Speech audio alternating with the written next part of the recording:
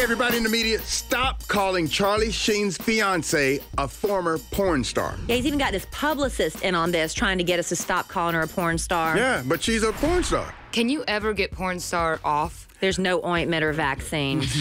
There's nothing. Damn. Actually, she's trying to let the world know, and Charlie is, that she went on to get her nursing degree. How cliche is that? Mm-hmm. Yeah, a porn right. star nurse. Okay. And that she really wants to go by her given name, which is Scottine, and all of her friends call her Scotty. Right, right. Brett Rossi, just a stage name. She's really Scotty. What happened to Charlie Sheen? This was like the whole winning thing. Like he Mm-hmm. dates slutty porn stars. Maybe he doesn't want the future mother of his children to be labeled a former porn star, right? Because he said he wants to have more kids with her.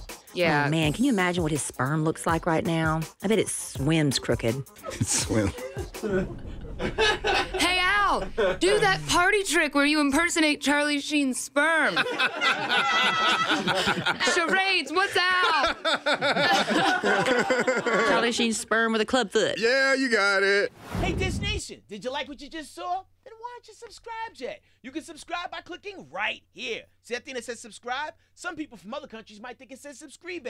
Same thing. Listen, also, if you already subscribed, there's more Dish Nation videos you can watch by clicking right there. See that? Oh, I know that person. That's the homie right there. Get down with the bandwagon. Dish Nation.